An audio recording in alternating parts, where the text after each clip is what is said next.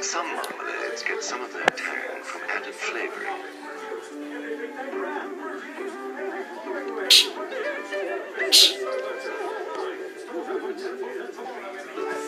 While Robertson's Golden Shred gets all of its tang from Seville oranges. What would you rather have for? Once upon a time, there were three conservatories.